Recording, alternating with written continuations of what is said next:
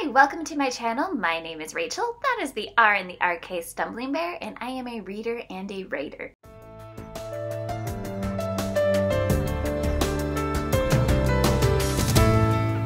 And welcome back to week 18. And we're just gonna jump into it because it's been a busy, long, tiring week, but nothing went wrong, nothing went beautifully right. Actually, one second. So I was at my part time job last night and I was given this card, and it really made my day. So, doing nice things for people, even if they're complete strangers, really can have an impact on how someone is feeling. So, that is your fun message before the wrap up. Getting into the book wrap up, I finished one book this week and it wasn't one that I was planning on reading at all, but it happened. And that was First Comes Scandal by Julia Quinn.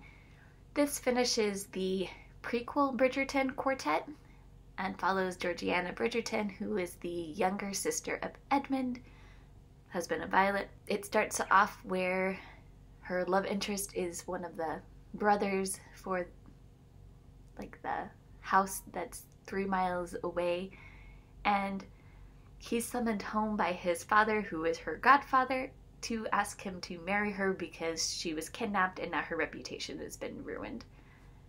And this is a friends to lovers romance because they've known each other for years and they haven't thought of each other in that way because they've just always been together, been around each other, and they get along. There, there's no animosity. They get along with each other and they, they check in and be like, oh, hey, what are you doing? So that's why I say it's a friends to lovers. It really seemed like Georgiana was coming into her own and then the book like abruptly ends. So that's my only criticism is the book is too short. There should have been more. Like you, we should have gotten to see a full blossoming of Georgiana. And basically after they tell each other that they love each other, the book ends. And I'm like, but it no, it, it's just because you love someone doesn't mean that there's no trouble or strife. It just means you're more motivated to work with one another to figure things out. That finishes that quartet. And then I started Fear by Gabriel Chevalier this week. This is a World War One fiction written by someone who was in World War One. So the main character is not the actually the author. Has the main character has a different name, and it's kind of I, am finding it more like it, it started off kind of poignant of this is how war seems to happen to society a society that is not expecting it.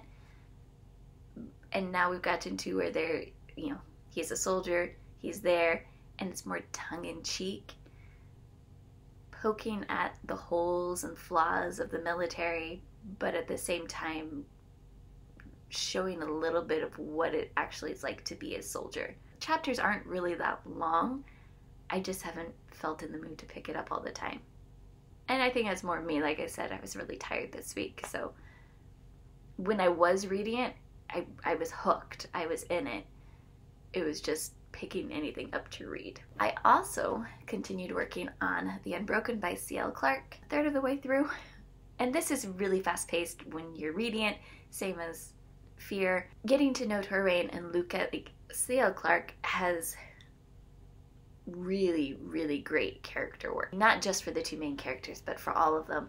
I am really enjoying this, and I hope to make way more progress on this this weekend as my schedule is lighter. I'm, I'm going to be continuing reading these. If I finish these, then I have some options. When I finish Fear, one of the two books that I'll be picking up is Lady Chatterley's Lover or Native Son. And if I finish The Unbroken, then I'm going to pick up Starsight, which is my buzzword prompt for both my sci fi and my normal, because I didn't have a direction on my shelf already. And Starsight is a directional term for navigating by the stars when you're on a boat. I'm very excited to get to book two in this series. I really enjoyed the first one. But again, that is only if I finish The Unbroken. So I have plans. I have things that I want to read. It all depends on how fast I read. Speaking of how fast I read, it could also have something to do with I read 19 things in April, which normally April is a much smaller month. So I was kind of surprised. I read eight novels, I read three manga, I read one short story, anthology, I read four novelettes, and I read three novellas. So I had a great reading month in April. And I did read a 2022 new release, and that was the short story anthology Reclaim the Stars. For my Goodreads currently reading, I had started the month at 159 and I ended at 160 because I added a book to it. And I don't remember the book off the top of my head, but again, how I use my currently reading list is this is a book that I want to go back and read or finish. So that's why it's there is to make me see it more. For my physical TBR, I started at 71 and I ended at 71 because I did not read anything for my physical TBR because I never got to Little Women. For my series, I started with 89 series, 17 of which were caught up. I finished one series, which was the original Bridgerton, because I read The Duke and I, which was the only one I had not read before. I'd read the other seven. Then I started two. Which two did I start? Oh, so I started the Young Huntress series by David Wiley, and I started the. I think it's the Eternal Sisters of the Stars, the by Lina Rather. The first book is Sisters of the Vast Black. I do remember that. So that brings my total series up to 90.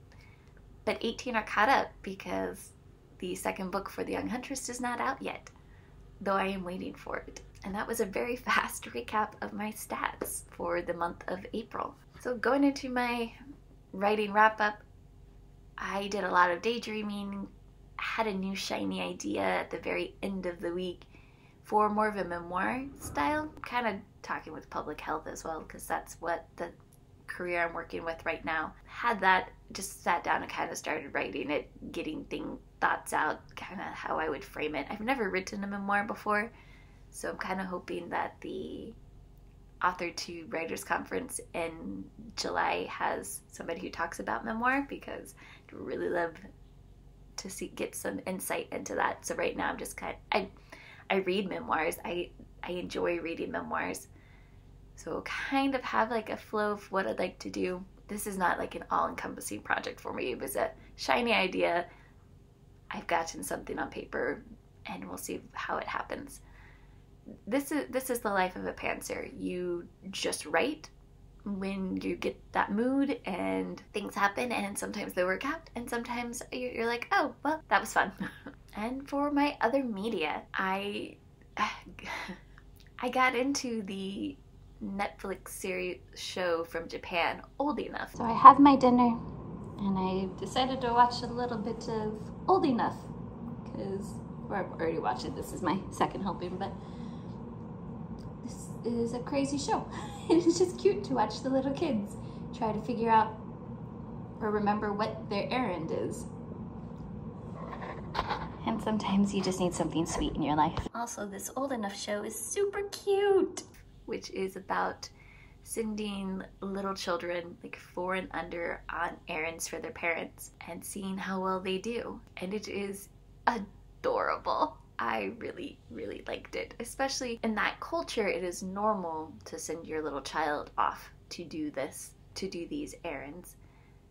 And in that culture, it is safe and acceptable for the children to be learning independence at that age. And yeah, I'm going to spoil it. So these are like 10 to 15 minute stories. They're not long. I am going to spoil one. There was one where a girl was asked to pick up something and everybody in the community knew she was going on an errand. So they're all like, "Oh, hi, where, where are you going?" And she's telling them, and she walked right past where she was supposed to go, and then got back to her mom and just bawled because she had not completed the task. And so mom, you know, so it's okay, you still did really good. I tried to reward her, and she's like not having it because she did not complete it. So mom's like, "Do you want to go back and finish it?" And she's like, "Yeah." And so she went back and then she found it and she completed it and then she got to come back to mom and be like, I did it. It's very, very sweet. If you just want something heartwarming and short to into your life, old enough, that is being aired on Netflix, go for it. My husband and I have actually decided to retire our Netflix because we typically don't watch that much from it. And so now that we're getting rid of it, I'm finding all these things that I want to try or things I'm like, oh, I'll try that one day. Now it's like, okay, no, I gotta try it because I don't know when we'll next pick it up. That's not true. I'll, I'll get Netflix again for the Great British Baking Show because that's my happy show. How has everybody's week been doing? I hope you all have been having a better week than me. Let me know. I'd love to hear hear your stories. Thank you and have a great day.